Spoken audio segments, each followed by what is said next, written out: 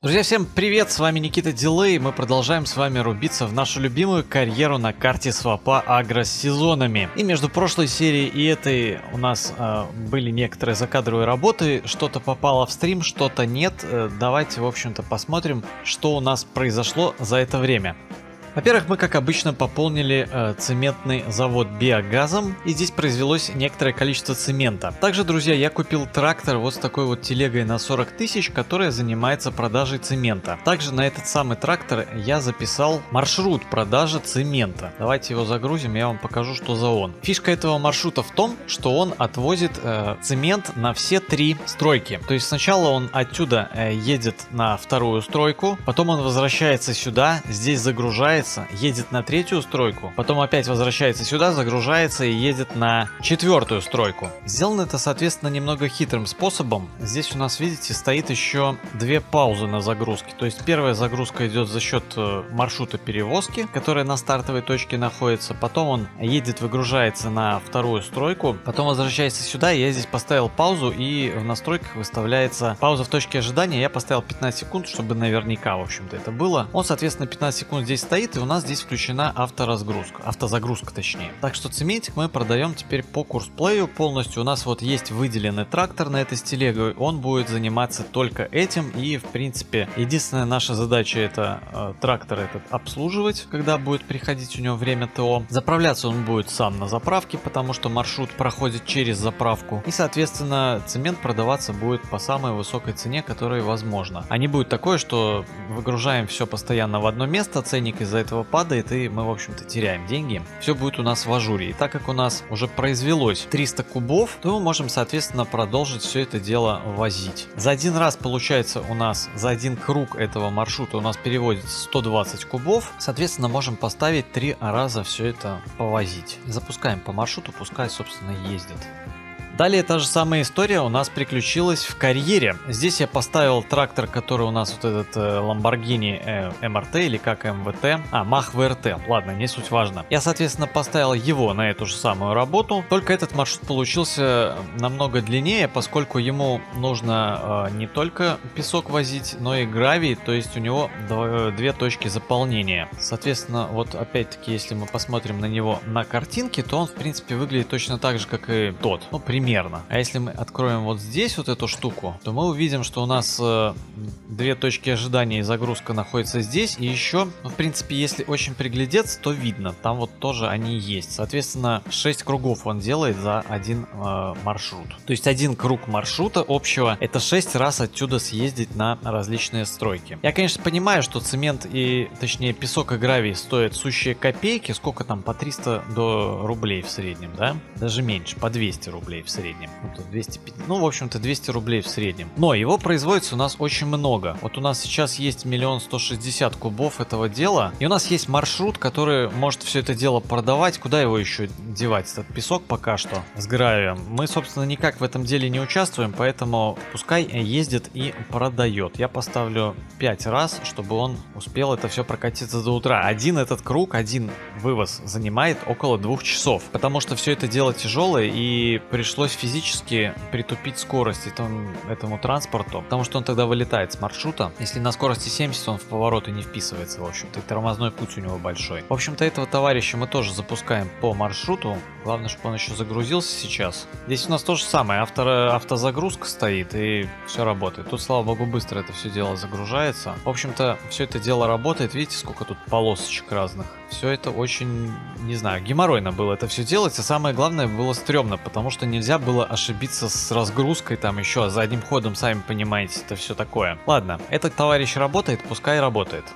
Также, друзья, мы на стриме э, немножко повозили силос, точнее траву на эти ферментаторы, но еще за кадром э, я, в общем-то, не знаю, как объяснить. Э, вырыл яму, что ли, большую под этими бункерами. В общем-то, я немножко подправил мод на эти бункера, и теперь у них вместимость не 500 кубов, а 5000 кубов. Я, в общем-то, в 10 раз увеличил их емкость, чтобы не париться постоянно с этим вывозом дигестатов и так далее. Просто это дело мне тоже хочется автоматизировать, чтобы не обращать обращать на него э, внимание. Раньше тут вот вместимость была э, 200 кубов дигестата, сейчас, видите, он опять стал производиться дальше. И у нас, кстати, еще вот цементик продается, первый рейсик. Еще 40 тысяч копилку. Мы разбогатели, сегодня будем тратить деньги. Вот, соответственно, все у нас хорошо. Траву мы будем отвозить сюда. Я думал, что мы даже будем пользоваться только одним ферментатором, потому что 5 миллионов литров будет по горло.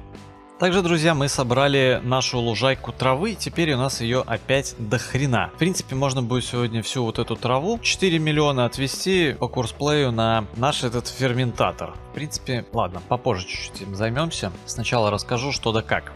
Также, друзья, я не помню на стриме или нет, но мы собрали наш фруктовый садик. Я дописал эти маршруты до конца на сбор и два раза, наверное, мы их уже собрали. У нас сейчас, да, тут 13 тысяч, 14 тысяч литров. 11 немного дает этот фруктовый сад, надо постоянно им заниматься. И с некоторыми деревьями я все-таки, кстати, профукал. И э, есть деревья, которые вот, например, вот это... А нет, тут что-то не так. С компостом происключилось. Ну ладно. В общем-то, есть тут деревья, которые вот не собирают собираются. Ну, одно дерево, даже если два, даже если три, это такое, я не буду переделать из этого маршрута. Также, друзья, немножко травки мы отвезли на компост мастер. Теперь у нас есть 238 кубов компоста. Этого, в принципе, хватит для того, чтобы отвезти этого фруктовый сад и продолжить им заниматься. Также надо будет отвезти туда сегодня бочку воды. Собственно, э, вот это вот все произошло у нас э, за кадром, между сериями, что называется.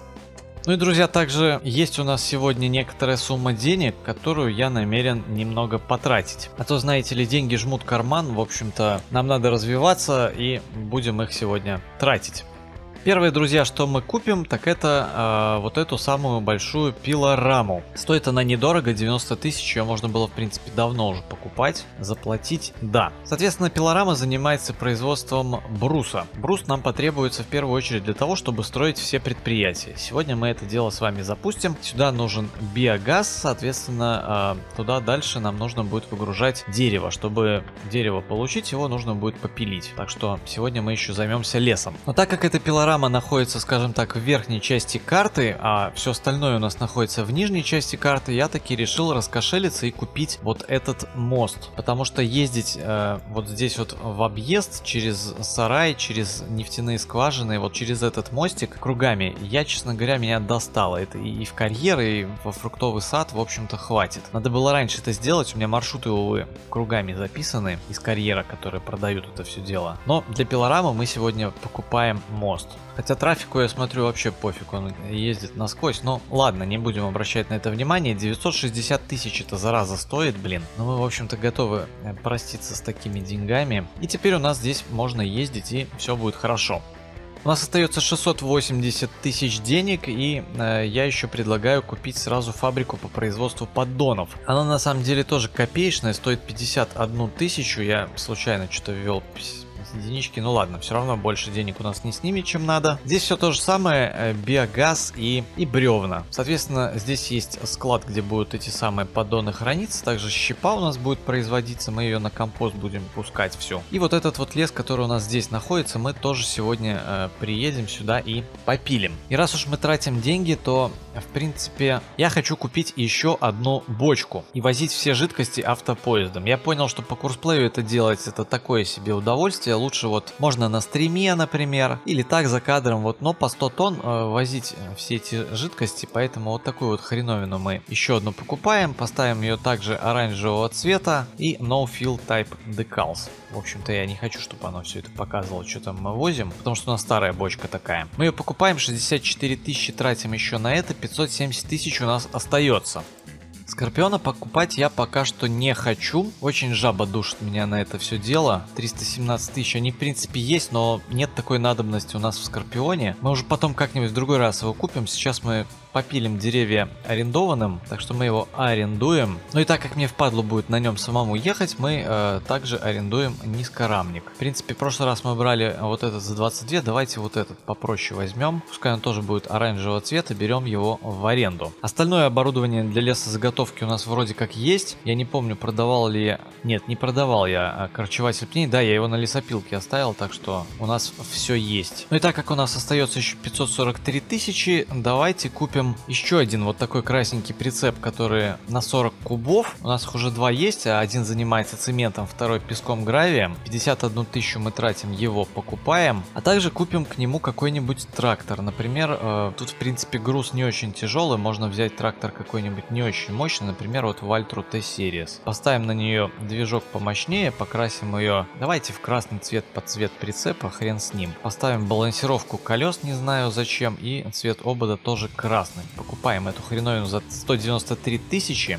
И переносимся к магазину полюбоваться тем, что мы купили. Трактор нам нужен будет для того, чтобы возить траву на наш ферментатор и, соответственно, потом ее оттуда забирать уже в виде силоса на базу. Давайте сразу же поставим его в работу, потому что у нас там травы дохренища.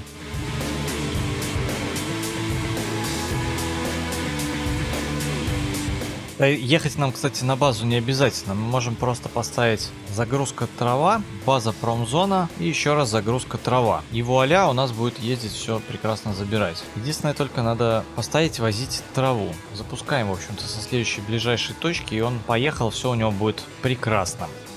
Но теперь же нам надо, друзья, заняться нашим лесом. Для этого берем вот этого нашего любимого Road Train пака. Какого нахрен Road Train пака? Америкоса мы, короче, берем из э, Road Train пака. Едем, цепляем низкорамник и э, везем на нем Скорпиона.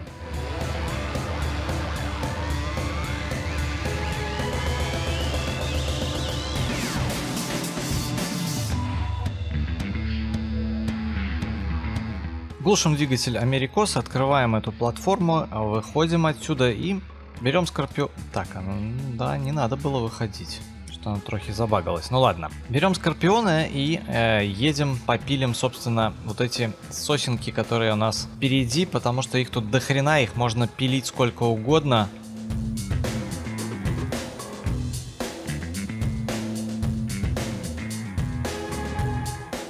Единственное, надо изменить длину распила, а то стоит по умолчанию 1 метр. Мы, как обычно, будем пилить 10-метровые бревна. Ну и погнали.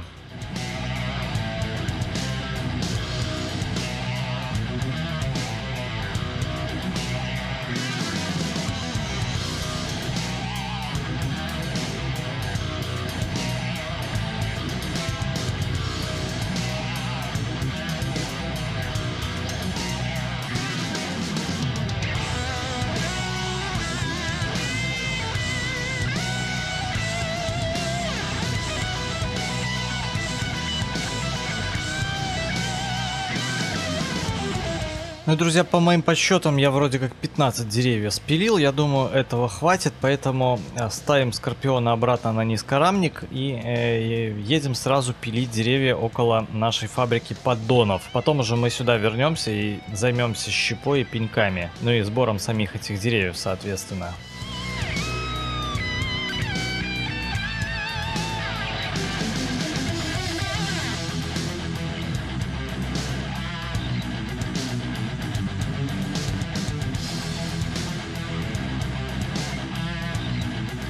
Здесь же, друзья, нас ждет абсолютно то же самое, чем мы занимались около другой пилорамы. Те же самые 15 деревьев. Собственно, погнали! Ну,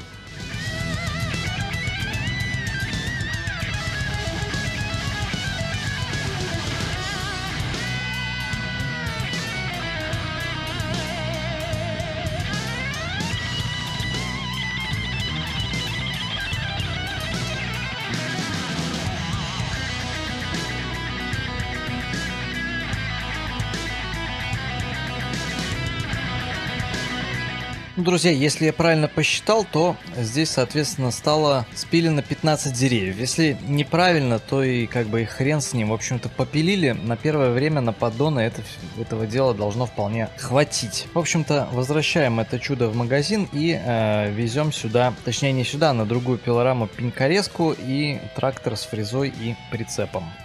Только, друзья, я что-то немножко попутал. Нам же сначала надо деревья собрать. Если мне не изменяет память, мы здесь оставили несколько тоненьких палочек. Я их вроде как аккуратно где-то складывал. Да, вот здесь. И, по-моему, еще где-то в начале. Я, правда, их что-то как-то не заметил, когда мы сюда ехали. Да, не заметил. Причем прям по ним проехался. В общем-то, собираем, забираем их и э, едем на нашу новую пилораму. Я, в общем-то, друзья, слегка заблудился, но ничего. Приехали мы на место и, соответственно, собираем деревья.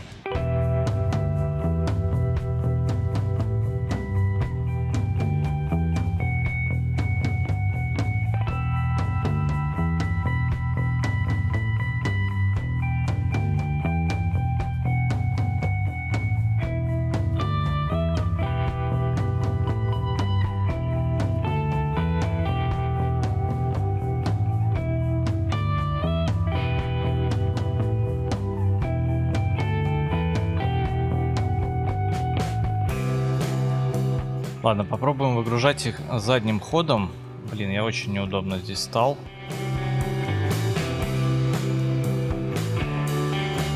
Вроде на триггер попал, в общем-то пробуем. Вуаля. Все, отлично, у нас все выгрузилось. Давайте посмотрим, на сколько процентов мы это все дело забили. На 36 процентов, нормально. В принципе, три прицепа мы сюда и выгрузим, полностью ее забьем.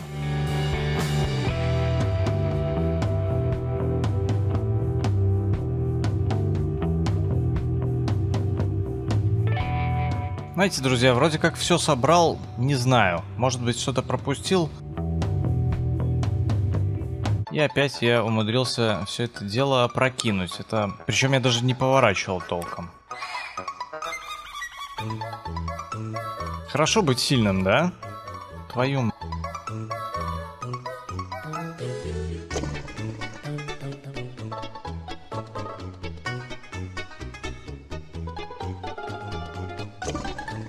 Фух, вроде как мы, короче, поставили это все дело. Геморройно это оказалось, видите, она немножко перевешивает на одну сторону, центр тяжести смещенный. В общем-то, прицеп по прыгунчику у нас оказался.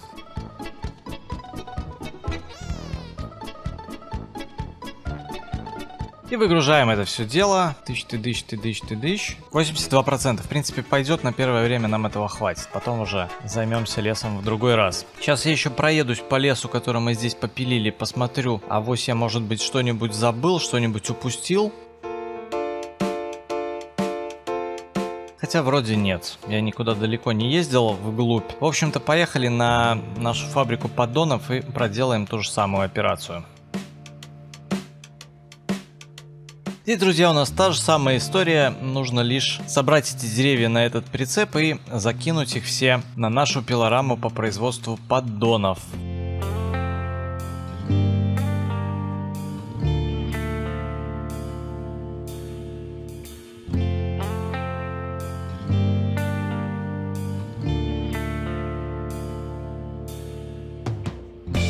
Здесь, кстати, у нас вместимость всего 200 тысяч литров. Это пилорама поменьше, поэтому мы сейчас еще пол прицепчика загрузим сюда на саму пилораму, а остальное скинем просто рядом.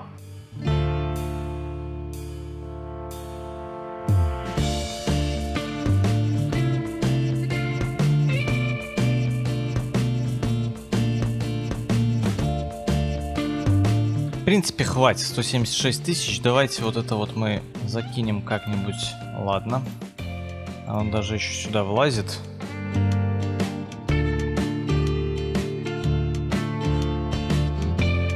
Все, остальное точно мы уже туда закидывать не будем, просто выгружаем все просто рядом.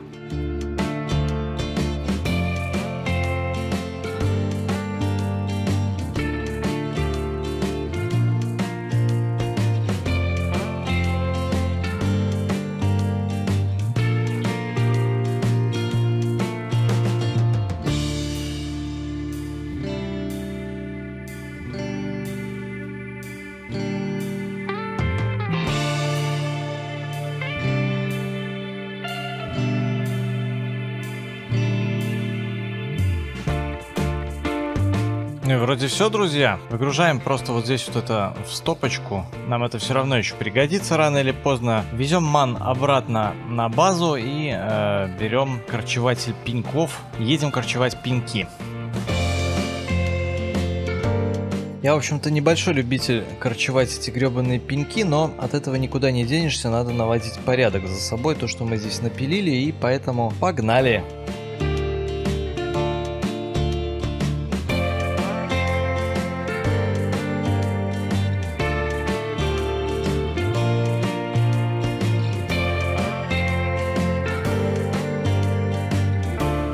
Надеюсь, друзья, что я ничего не пропустил. В общем-то, откидываем корчеватель пней и собираем всю щепу в этот самый маленький прицепчик, который мы сюда также пригнали. И собирать мы это все будем с помощью нашей любимой фрезы.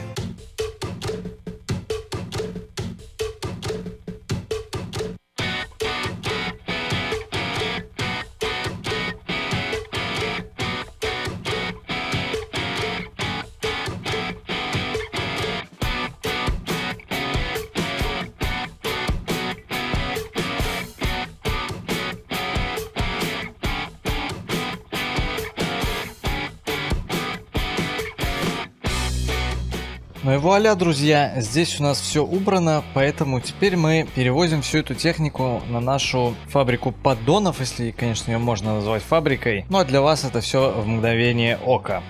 Но здесь, друзья, мы с вами делаем абсолютно те же операции, что и около нашей большой пилорамы. Рубим пеньки, выкорчевываем точнее и собираем всю щепу.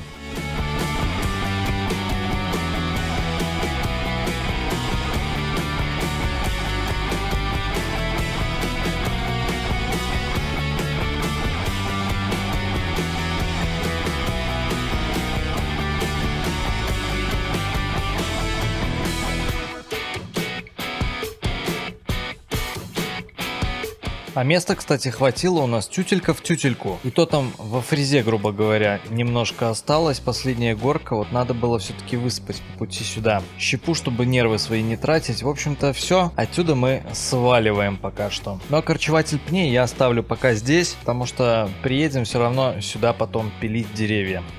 Сейчас, друзья, мы цепляем нашу новую бочку, которую мы купили дополнительную. Едем на базу, цепляем старую бочку и Отвозим на пилораму и на компост мастер по одному прицепу, э, в общем-то, поточнее по два прицепа биогаза.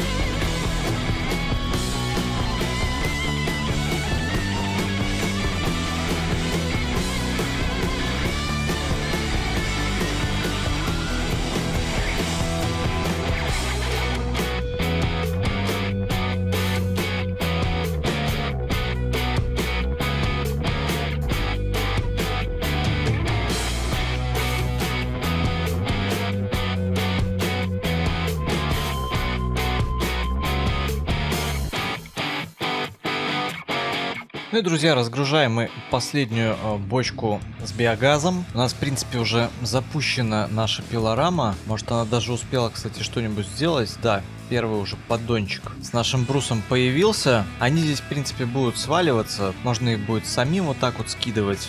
Ну, помним, в общем-то, это занятие наше любимое. Хотел я в этой серии заняться еще и фруктовым садом, но, увы, уже, друзья, стемнело. Оставим все это дело на следующий раз. Посмотрим э, в следующий раз, насколько тут хватает полной загрузки, сколько всего бруса у нас получится. Плюс посмотрим, как у нас тут э, будут обстоять дела с этими самыми поддонами. Только надо еще вот эту бочку тоже разгрузить. А, так сюда только 30 тысяч, кстати, влазит, да? Если мне память не изменяет. Да, сюда биогаза не бесконечно приличное количество влазит, не сотку. Сюда маленькую бочку надо будет тягать. Ну и ладно, все равно есть куда отвести э, вот эти остатки. В общем-то, друзья, кому понравилась серия или кто-то полезное что-то для себя подчеркнул, не скупимся на лосики. Мне всегда приятно, когда их много. Пишите свои комментарии по поводу нашего дальнейшего развития, у кого какие идеи, я все выслушаю. Подписывайтесь на канал, если вы еще этого не сделали, чтобы не пропустить следующие серии, чтобы не пропустить стримы, вступайте в группу ВКонтакте. С вами был Никита Дилей, на этом все. Всем всего доброго,